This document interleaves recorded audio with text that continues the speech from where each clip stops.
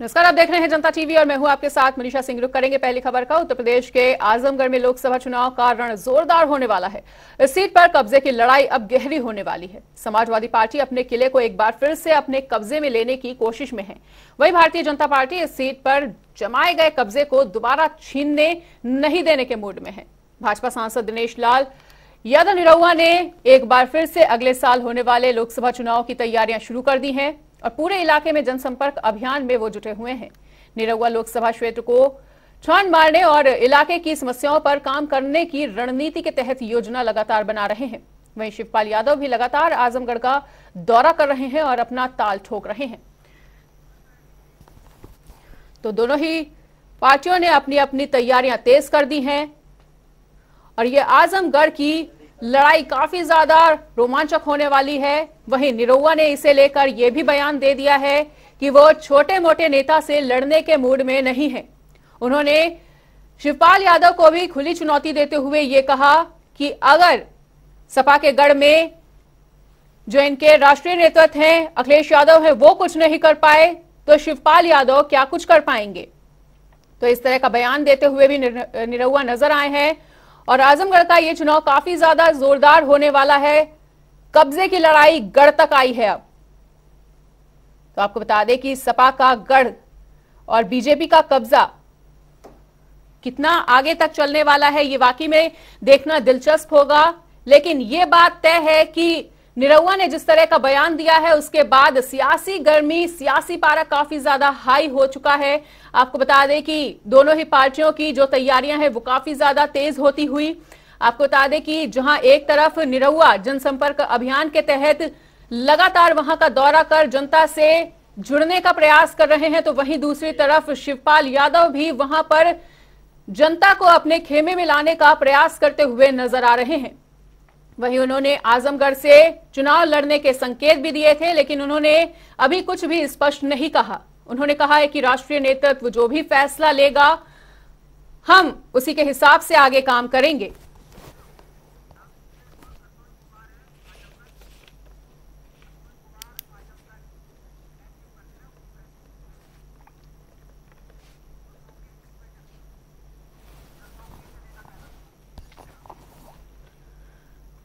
और इसी खबर पर अधिक जानकारी के लिए हम बता दें कि अतुल हमारे साथ आजमगढ़ से जुड़े हुए हैं। वहीं लखनऊ से तौकीर किदवई का रुख कर लेते हैं। तौकीर, जिस तरह से लगातार सियासी पारा हाई है निरहुआ के बयान के बाद निरहुआ ने सपा को खुली चुनौती देते हुए कह दिया है कि अगर अखिलेश कुछ नहीं कर पाए तो आज ये शिवपाल यादव क्या कुछ कर पाएँगे? इस चुनौती को किस तरह से देखेगी अब सपा? क्या कुछ लगता है?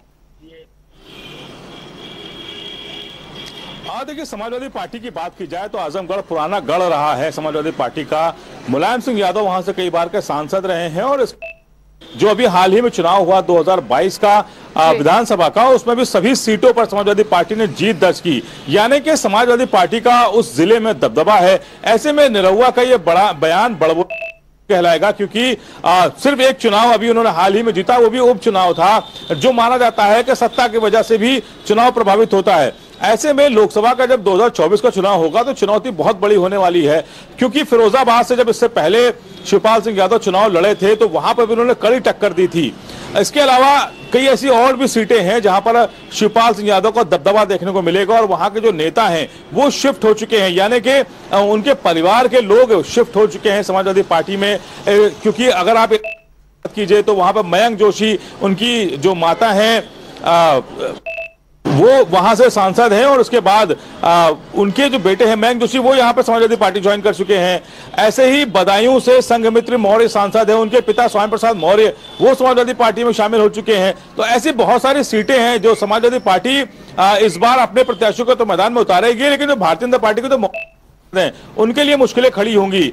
और जिस तरह से आजमगढ़ की बात की जाए तो जिस तरह से शिवपाल सिंह यादव लगातार दौरा कर रहे हैं तीन से चार विज़िट कर चुके हैं और पुराना दबदबा मारा सिंह यादव का आजमगढ़ में। ऐसे में चुनौती बहुत बड़ी होने वाली है क्योंकि निरहुआ का जो ये कार्यकाल होगा दो साल का इसको भी जनता ज़रूर तोलेगी कि वहाँ पर समाजवादी पार्टी का सांसद चाहिए या फिर भारतीय जनता पार्टी का चाहिए। क्योंकि निरहुआ की बात की जाए तो उन्होंने क्षेत्र में रहने के दावे तो बहुत किए थे तो लेकिन वो अपनी फिल्मी जो करियर है उनका उसकी व्यस्तता के चलते वो बहुत नज़र नहीं आए। बिल्कुल तो फिर लौटेंगे आपके पास। आजमगढ़ से अतुल भी हमारे साथ जुड़े हुए हैं। अतुल, जिस तरह से निरहुआ ने ये चुनौती दी है और उन्होंने साफ़ तौर पर खुले, स्पष्ट शब्दों में सपा को चुनौती देते हुए ये कह डाला है कि जब अखिलेश यादव कुछ नहीं कर पाए तीन सालों में तो अब शिवपाल यादव क्या कुछ कर लेंगे? और मैं किसी छोटे मोटे नेता से लड़ने के मूड में नहीं हूँ। शिवपाल यादव को छोटा मोटा समझना कहाँ तक समझदारी बीजेपी के लिए और निरहुआ के लिए? जी, बिल्कुल। जैसा कि आपको बता दें, एक सप्ताह पूर्व निजी कार्यक्रम में शिवपाल यादव आजमगढ़ आए हुए थे। जब उनसे हम लोगों ने बात किया तो उन्होंने यही कहा कि पार्टी नेतृत्व का जो भी फैसला होगा, उसको हम मान्य करेंगे। अगर पार्टी नेतृत्व चाहती है हमें चुनाव लड़ने के लिए तो हम, मैं चुनाव लड़ूँगा आजमगढ़ से। लेकिन आज ब्रिजेश पाठक, आजमगढ़ डिप्टी सीएम ब्रिजेश पाठक आजमगढ़ आए हुए थे, जिन पे निरहुआ ने उस जन, एक जनसभा को संबोधित किया। जनसभा संबोधित करने में उन्होंने ये कहा कि चाचा आवे चाहे चाची, अब सब पे भारी पड़ी निरहुआ निरहुआ पड़ी सब पे भारी। ये कहते हुए उन्होंने कहा कि आजमगढ़ की जनता ने हमें पसंद कर लिया है। आजमगढ़ की जनता हमको भरपूर प्यार करती है और जो काम अखिलेश यादव अब तक नहीं कर सके, उसको हमने एक वर्ष में पूरा करके दिखा दिया है। और अखिलेश यादव ने केवल एयरपोर्ट दिया था आजमगढ़ में। मैंने उसको इंटरनेशनल एयरपोर्ट का दर्जा दिया है। आजमगढ़ की जनता को इंटरनेशनल एयरपोर्ट से उनको देश विदेश जहाँ भी जाना होगा, वहाँ तक मैं पहुंचाऊँगा। ये हमने वादा किया है। बिल्कुल अतुल तो जिस तरह से निरहुआ ये कहते हुए नज़र आ रहे हैं कि वहाँ की जनता मुझे पसंद कर रही है। अभी कुछ ही दिनों पहले तो वहाँ के किसान आक्रोशित नज़र आ रहे थे। तो किस तरह से वो किस बिहाफ पे ये कह सकते हैं कि वहाँ की जनता उन्हें पसंद कर रही है? किसान उनके खेमे में है। दिनेश लाल यादव का कहना यह है कि विपक्षी की साजिश है, जिसमें किसानों को आंदोलित करके भड़काया जा रहा है कि तुम एयरपोर्ट न बनने दो, ताकि जो है पार्टी बदनाम हो। बिल्कुल तो तमाम बातों को सुना आपने, तोकीर अतुल, की आपको क्या लगता है कि लगातार ये जो बयानबाजी चल रही है, बीजेपी के लिए कितनी बड़ी चुनौती साबित होने वाली है? अगर शिवपाल यादव आजमगढ़ आजमगढ़ से खड़े होते हैं तो।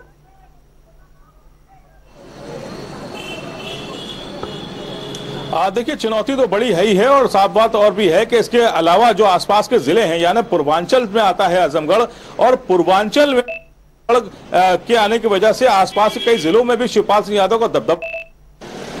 और सबसे बड़ी बात यह है कि जिस एयरपोर्ट का दावा वो कर रहे हैं, उस एयरपोर्ट को लेकर लगातार तीन से चार महीने, पाँच महीने से धरना चल रहा है। बड़ी तादाद में किसान कह रहे हैं कि मुआवजा नहीं मिला है और पुलिस ने लाठियाँ भी बांधी हैं वहाँ पर किसानों पर, इसी एयरपोर्ट को बनाने को लेकर। यानी कि ये एयरपोर्ट भी एक बड़ी तादाद को वहाँ पर नाखुश कर रहा है। अब भविष्य में वो लोग इनके साथ होंगे या नहीं होंगे या भाजपा क्या रणनीति अपनाती है क्या निरहुआ को ही प्रत्याशी बनाया जाएगा लोकसभा में दोबारा ये भी एक बहुत बड़ा सवाल है अभी।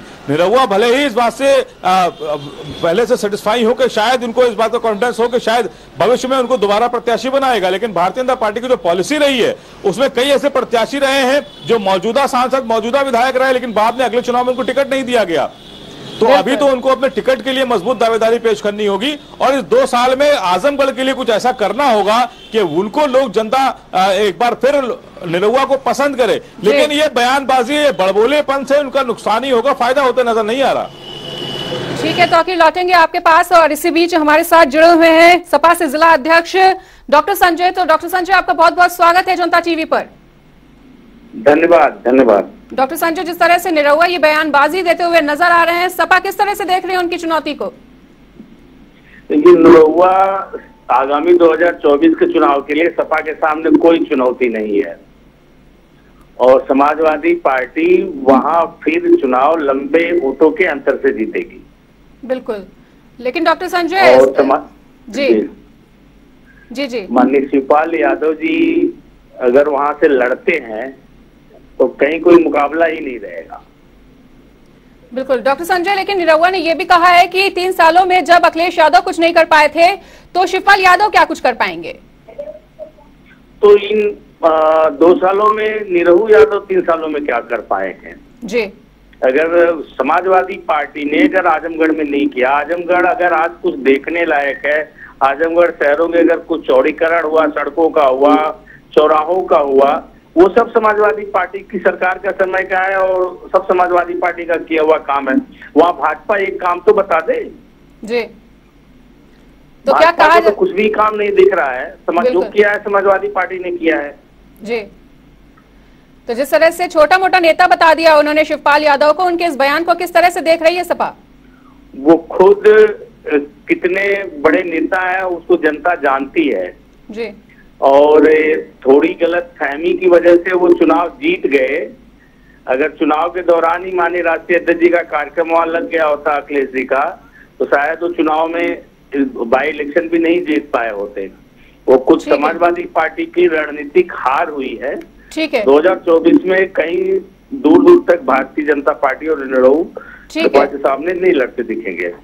ठीक है, डॉक्टर संजय हमारे साथ जुड़ने के लिए बहुत बहुत शुक्रिया। और इसी बीच बीजेपी सांसद घनश्याम लोधी भी हमारे साथ जुड़ चुके हैं। घनश्याम लोधी जी, जिस तरह से निरहुआ ने ये बयान दिया है, उसके बाद क्या लगता है कि बीजेपी क्या कुछ तैयारी और शिवपाल यादव को छोटा मोटा नेता समझना, ये कहाँ की समझदारी? देखिए जो भी अभी डॉक्टर साहब बोल रहे थे तो मैं नहीं समझता कौन बोल रहे थे। लेकिन नरुआ माननीय नरुआ जी ने जो बयान दिया है तो हमारे तो जो कार्यकर्ताओं की पार्टी है भारतीय जनता पार्टी और हम ये नहीं देखते हैं कि हमारे सामने कौन लड़ रहा है कौन नहीं लड़ रहा है। हमारी पार्टी तो चुनाव लड़ती है और ये कभी नहीं सोचा कि हमारे सामने कौन है। और उसी हिसाब से कार्यकर्ता काम करते हैं एक हमारे कार्यकर्ताओं का लक्ष्य होता है चुनाव जीतना। और उसी पर हम सब लोग काम करते हैं और चुनाव जीतते हैं। जी। घनश्याम जी लेकिन निरहुआ ने ये बोला है हमारे सामने कौन आता है कौन नहीं आता है। चाहे आजमगढ़ हो या रामपुर हो या दूसरी कोई सीट हो कोई फ़र्क नहीं पड़ने वाला हमें लेकिन घनश्याम जी जिस तरह से निरहुआ जी ने यह बोला है कि मैं किसी छोटे मोटे नेता से लड़ने के मूड में नहीं हूँ तो क्या बीजेपी आत्मविश्वास से भरा हुआ ये बयान दे रही है? क्या आपको लगता है कि शिवपाल यादव भी कोई बहुत छोटे मोटे नेता हैं? देखिए मैं तो ये नहीं कहूँगा उनका व्यक्तिगत बयान हो सकता है कि छोटे मोटे लेकिन मैं समझता हूँ कि हमें तो अपना चुनाव लड़ना है हमें ये नहीं देखना है कि हमारे सामने कौन लड़ रहा है। जी।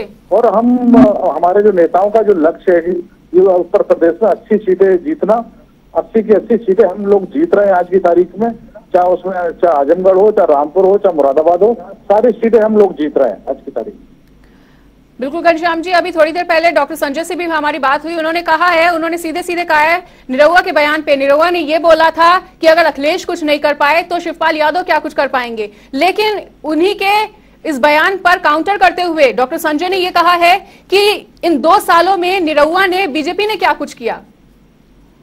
देखिए, बीजेपी ने इन दो सालों में नहीं दो- नौ सालों का हम लेटा जोखा जनता के बीच में लेके जा रहे हैं और मेरे ख्याल से तीस मई से लेकर और हमारा तीस जून तक ये कार्यक्रम चल रहा है और हम जनता के बीच में जा रहे हैं। और रात दिन हमारा कार्यकर्ता जनता के बीच में रह रहा है और जनता के बीच में अपनी सरकार की उपलब्धियाँ गिना रहा है।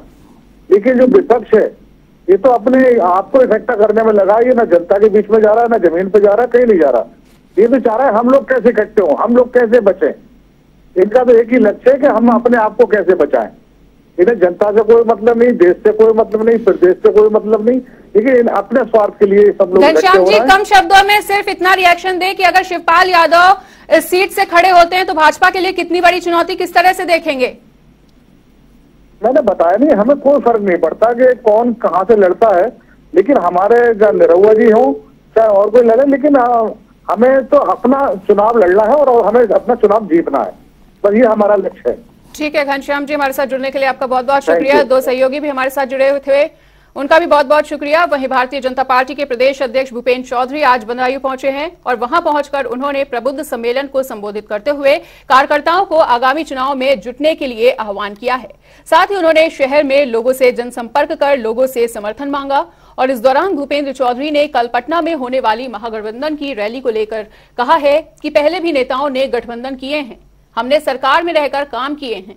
उन्हीं कामों को लेकर हम जनता के बीच जा रहे हैं और विपक्षी नेताओं के पास कोई काम ही नहीं है। केवल जनता के हित में काम हो रहे हैं और उसको वो भटकाने के लिए गठबंधन का राग अलापते हुए नज़र आ रहे हैं। उत्तर प्रदेश में तीन नए विश्वविद्यालय बनाने का काम किया। आजमगढ़ में महाराजा सुहेल देव के नाम अलीगढ़ में राजा महेंद्र प्रताप के नाम और सहारनपुर में माता शाकुमरी देवी के नाम से विश्वविद्यालय की स्थापना उत्तर प्रदेश सरकार ने इस सरकार बनने के बाद दोबारा उत्तर प्रदेश के मुरादाबाद में, देवी पाटन में और मिर्जापुर में भी नए तीन विश्वविद्यालय सरकार खोलने जा रही है। सरकार ने बजट में उसको उधर आजमगढ़ पहुँचे डिप्टी सीएम ब्रजेश पाठक ने करतालपुर में जनसभा को संबोधित किया और केंद्र सरकार के नौ साल पूरे होने पर सेवा, सुशासन और गरीब कल्याण के रूप में भाजपा इसे मना रही है और जनसभा में डिप्टी सीएम ने केंद्र की, प्रदेश सरकार की उपलब्धियों को गिनवाया भी। साथ ही उन्होंने कहा कि बीजेपी आजमगढ़ को जिताने जा रही है।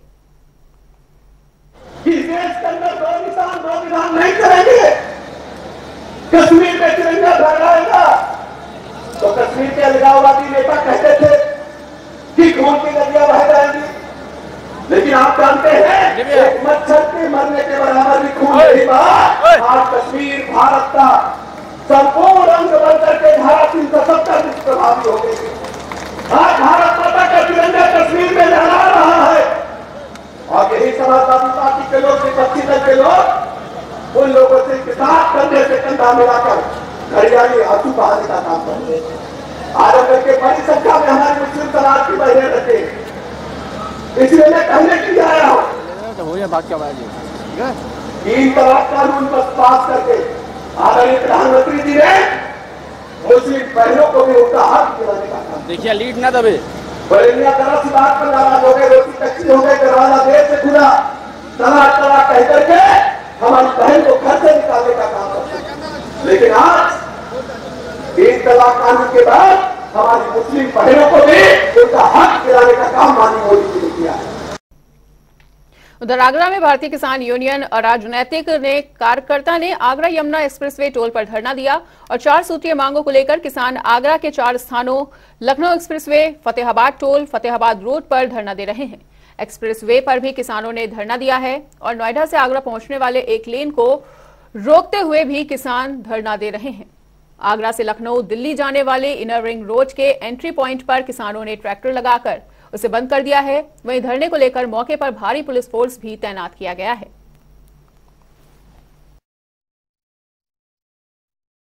पिछले छह महीने से लगातार कमिश्नर आगरा को हम संपर्क कर रहे हैं कि मुलाकात करके एक बार समय दीजिए और किसानों के साथ बैठिए, क्योंकि आपके प्रत्येक जनपद में कहीं ना कहीं तहसीलों पे पर्याप्त भ्रष्टाचार चल रहा है और हमारे धरने भी कई तहसीलों पे पिछले तेरह चौदह दिनों से चल रहे हैं।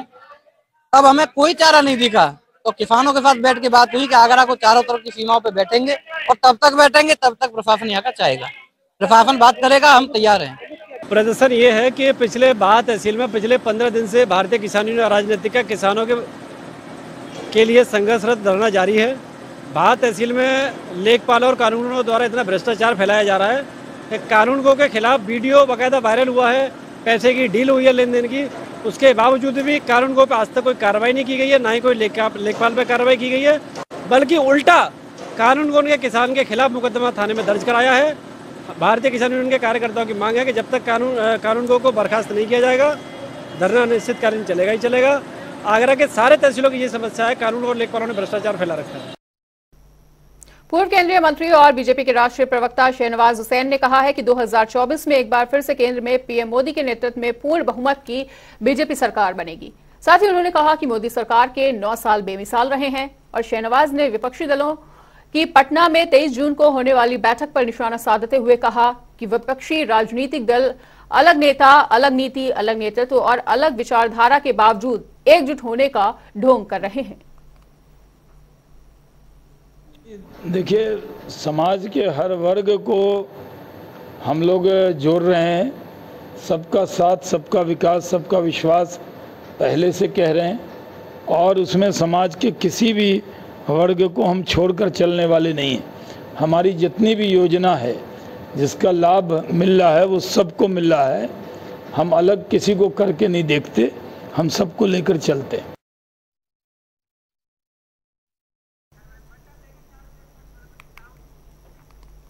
और इसी के साथ रुक कर लेते हैं, चार मिनट में अठारह मंडलों की खबरों का। इटावा में भरथना मॉडल पार्क को चारों चोरों ने बनाया अपना निशाना। वहीं सोलर प्लेटों की बैटरियाँ चुराई गई। तीस हज़ार रुपए बताई जा रही है बैटरियों की कीमत। कासगंज में पुलिस और बदमाशों के बीच हुई मुठभेड़। दोनों के बीच हुई फायरिंग। दो बदमाश हुए घायल। मुजफ्फरनगर में युवक का शव मिलने से मचा हड़कम परिजनों में मचा कोहराम परिजनों ने जताई है हत्या की आशंका। फरुखाबाद के अस्पताल में की गई बड़ी लापरवाही इलाज के अभाव में दो मासूम बच्चों की मौत परिजनों ने कार्रवाई की, की है मांग। बाराबंकी में दलित नाबालिग लड़की से रेप का मामला आया प्रकाश में पुलिस के कार्रवाई न करने पर जीजान परिजनों में मचा कोहराम। आगरा में बीकेयू अराजनैतिक के कार्यकर्ता पहुँचे टोल। अपनी मांगों को लेकर कर रहे हैं प्रदर्शन। वहीं नोएडा से आगरा पहुँचने वाली लेन को रुकवाया गया। इटावा में अज्ञात कारणों के चलते महिला ने लगाई फांसी। परिजनों में मचा कोहराम। पुलिस कर रही है मामले की जाँच। कन्नौज में तेज बारिश में भरभराकर गिरा मकान का जीना। वहीं पचास वर्षीय महिला की हुई मौत। परिजनों में मचा कोहराम। मुजफ्फरनगर में भिक्षा मांगने और श्रम करने वाले बच्चों का हुआ रेस्क्यू। डीएम के नेतृत्व में की गई कार्रवाई। हर महीने दिया जाएगा सरकारी खर्च। सहारनपुर में बिजली कटौती के विरोध में आम आदमी पार्टी का धरना। जिलाधिकारी को सौंपा ज्ञापन। मांगे न मानने पर दिया आंदोलन करने का आंदोलन करने की चेतावनी। अमेठी में संदिग्ध परिस्थितियों में मिला है युवक का शव। परिजनों ने युवक की हत्या की जताई आशंका। वहीं शव के पास से बरामद हुआ है मोबाइल और पर्स। सहारनपुर में युवक की करंट लगने से हुई मौत। पुलिस ने शव को कब्जे में लेकर पोस्टमार्टम के लिए भेजा। मामले की जाँच की गई है शुरू। अलीगढ़ में निगम की लापरवाही आई सामने। नाले में गिरकर बच्चे की हुई मौत। परिवार में बचा हुआ है कोहराम। हमीरपुर में करंट लगने से माँ बेटे की मौत, परिजनों में मचा है कोहराम, मामले की जाँच में जुटी हुई है पुलिस। बिजनौर में जेल में प्रेमी से मिलने पहुँची युवती, फर्जी आधार कार्ड का लिया गया सहारा, पुलिस ने किया गिरफ़्तार। हमीरपुर में बारातियों से भरी बस पलटी, दो की मौत, तैतीस घायल, अस्पताल में इलाज जारी। बदायूं में सब्ज़ी विक्रेता ने ठेले पर आए युवक को पीटा, बीच बचाव करने आए परिजन भी हुए घायल, पैसे कम करने की बात पर हुआ था विवाद। कानपुर में दबंगों का आतंक उधार सामान न देने पर दुकानदार की जमकर की गई पिटाई, मारपीट की घटना, सीसीटीवी में हुई कैद।